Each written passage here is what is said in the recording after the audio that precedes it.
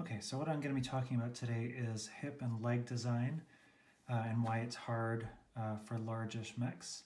Uh, I say largish because obviously um, these are fairly big compared to uh, a mini, but they're certainly not the scale of uh, something that Cat Pipe or the Lego Dark Knight are doing with their giant uh, and awesome Technic creations. So um, when you get super big, you have a bit more options in terms of using Technic turntables and worm gears and things like that. Uh, when you're working small, like with um, this little guy here that I made recently, the, the Skavrat uh, Beta, it's easy because really uh, you don't have much weight bearing and you use very standard uh, ball joints and cups or mixel joints or whatever. But at this size, which I really feel is, is the most kind of minifig scale, you encounter some some difficulties. So all of my Sisterhood mechs use the same design, uh, which is strong, uh, basic, um, but not perfect. So uh, what they all use is uh, these Technic, uh, Technic rotation discs. These are an amazing part. I've used a hundred of them. Uh, they're great. So they're used up here. Um, I guess speaking about the anatomy of the leg first, I go with um, kind of a biomechanically correct uh, digitigrade, or how we pronounce it, leg, which is what something like an ostrich or an emu would have. So there's no such thing as backwards knees. This is the ankle. Um, what they have is a small or a short rather shin, and then, um, oh, sorry, thigh, and then shin, and then this piece here is the tarso metatarsus, which is basically the long extended toe. So uh, likewise on mine, uh, I have uh, double Technic rotation joints uh, up here at the hip, going down the thigh, uh, shin, tarso metatarsus, and then at the bottom, as you've seen from my posts, I use uh, double receptacles there with the various kinds of friction tubes on the back to keep it steady. So um, with the Revenant Sisterhood, I'm just using very simple uh, three in a row Technic bricks with uh, rotation joints, and those are plugged right into uh, right into the disc joints, so right into uh, the holes here. And I double that up for strength. Uh, it gets a little bit wobbly if you only use a single, and this works pretty great. Um, it's certainly not perfect, uh, one reason it's not perfect is because you don't get all of the uh, movement you would get from a real hip. So uh, it can obviously move uh, forward and back because it's on you know these rotation joints for stepping. Uh, it can have the uh, the abduction that you always see for nice kind of wider stances. those aren't a problem. But what it doesn't have is lateral rotation. So uh, when we move in real life, it's important to be able to turn out or turn in the leg so you can actually turn. Um, so these don't have that, and it kind of drives me crazy because I like to go for uh, realism when I'm building unrealistic giant robots. Um, and that's kind of what I've been working on uh, on and off for the last couple years, and I still haven't perfected it. Um, if you have any thoughts on it after this video, please drop me a line. I'm sure there's more options um, with Hero Factory, and I see a lot of the Bionicle guys doing interesting stuff, but I don't really have experience with that. So, so this is the kind of the my standard, uh, and I'm probably going to keep using it for the Revenant Sisterhood. Um, the other con I forgot to mention was it's long, right? So the hip attaches here, but again, looking at the part, it comes all the way back here. So it does necessitate a fairly long lower torso. Uh, it's not a huge deal, again, in the case of the Sisterhood, because uh, the symbiotes go in the back, and you know even the smaller ones uh, tend to have a longer uh, canister there. So it suits the design, but even still, uh, I would much rather, if I could uh, not have to deal with this from an aesthetic perspective. And it does kind of offset uh, the hip a bit farther forward than I would like. So that was my first kind of style there. And then the biggest iteration after that, uh, the only one I have remaining still, uh, you'll see on the Scavrat uh, Destroyer. So same kind of idea, uh, same proportions of the leg, same rotation discs up here. But instead of using the Technic bricks, what I did is, uh, I'll actually show you on this piece here. This is, this is the old torso on the Canadian Armed Forces uh, arrow that I just redesigned. So uh, instead of those three Technic bricks, what I do is I have this one uh, Technic ball joint and this friction tube here that rotates freely and that will have a um, axle with a stop on it uh, like this with a ball. And then that's basically uh, how it attaches to that uh, rotation disc. Obviously you'd have a, uh, a ball on the end of that. So the good thing about this design is you get everything. You get um, you get your uh, abduction like that. You get your forward and back because it's on a it's on a rotation disc. And uh, you actually get your lateral rotation so it can turn in. That's a little stuck right now because I haven't used this in a while or turn out.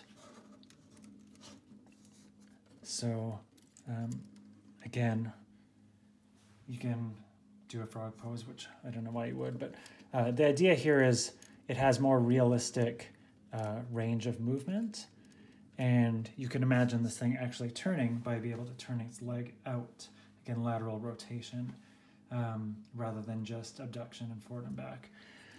So this is a, a decent design, um, but again, you have the long um, joint to deal with, and it just tends to be a little bit bigger than I would like. Um, it adds a lot of bulk up here, uh, the way I've attached it with these Technic uh, uh, axle joints with a receptacle on the top. And there's there may be a better way to do this, but um, it's it's pretty workable, but again results in, in a fairly large uh, lower torso. Um, so maybe if I was to create something more uh, upright and humanoid, as a lot of people have asked, or something more like an atlas than a, than a locust, it might make sense. But I've been moving away from this design. Uh, and then I'll show you where I've landed with that. So uh, kind of going back to the absolute basics. So here is the redesigned uh, legs of the arrow. And as you can see, it's really as basic as it comes. It's uh, bricks with receptacles, friction extenders, and then ball joints in the legs. Now, there's nothing smart about this or fancy. Um, but it mostly works. So um, the nice thing about this is, as you can see, I've been able to make the lower torso much smaller. Maybe you can see, maybe you can't. Um, compared to uh, this here. It's obviously much smaller um, and much more proportionate to the actual uh, upper torso which is somewhere here. And it just looks better and you get everything. So you can obviously, you know, it's a single joint. It's as, it's as simple as it gets. You have all of your ranges of movement, up, down, abduction, lateral, etc., etc. But in terms of weight bearing, it can get a bit dicey, uh, particularly with uh, things like this, like the, my style, which is a very uh, walker style mech um, rather than upright. So assuming I can get this on here, um, I need a wider angle lens here. Um, so it fits right on there and you can't see the whole thing, but that's as good as I can do. And it's pretty strong. It's it's decent. I mean, you can you can manhandle it a little bit. If I was to start tipping this forward, actually that's that's okay. It's still holding, still holding, and then it starts to tip, right? Now, I don't know if a creation like this could be dipping that far forward in real life, but regardless, it's kind of crummy that it's so uh, tippy. Uh, not so tippy, but a little bit tippy. I mean, I can, I can pick this up, I can put it down, um, I can adjust the legs and knock off armor plating and do a decent amount of things before it starts to get dicey. Um, but something of this weight is, is borderline.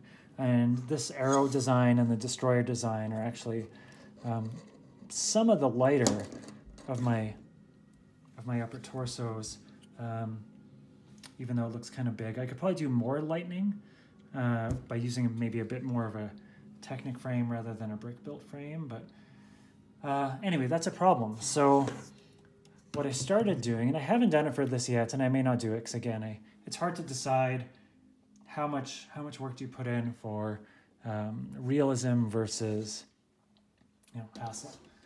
Uh, so here is let's see, these are the legs for the Archon, um, and you can see these friction tubes here. These aren't for aesthetics; these are actually functional. So um, I have the the top of this uh, off right now, but again, you can basically see it's uh, it's just uh, bricks, receptacles, friction extenders.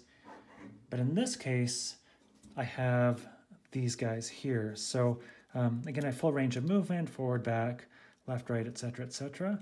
And these tubes move in and out, and they had just enough extra resistance um, in order to prevent it from tipping. Like if I even just now try to tip this forward, it's much harder compared to something like this that's unsupported, which I can just tip all day long. Uh, just that little bit of extra resistance. So that was done. Um, they kind of angle all the way back here. Um, it's hard to show on camera, but uh, effectively you can see them here and they're positioned a little bit uh, to the rear of the um, the main joints there. So that was one approach that worked pretty well.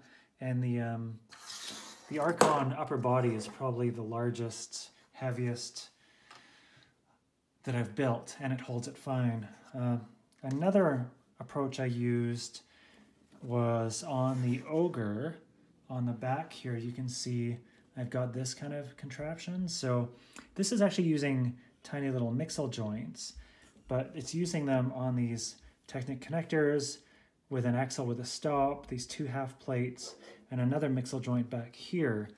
And basically what that does is the exact same thing as the Archon, just a different style. So you can go out and all over the place and so on and so on. And you can see that this part moves as the main joint moves. And again, it's got pretty good resistance to just being tipped forward. I can't very easily do that without gripping the leg and tipping it forward. So, so that gives it the stability it needs for a large upper body. So that's really what it comes down to is a balance of how much are you going to be playing with it, how much are you going to be posing it, how much work do you want to do, and again, if anybody has suggestions for me, I'm very happy to take them. This is effectively what you saw here on the um, Ogre, uh, where it's basically the main joints and the uh, extra tension joints that allow all the different ranges of movement. Um, a bit stiff, but that's kind of the point. Um, but then you can end up with the same problem as you did with the rotation discs where, you know, you're getting into something long. So that is the joys of hip design in a nutshell. Thanks for listening.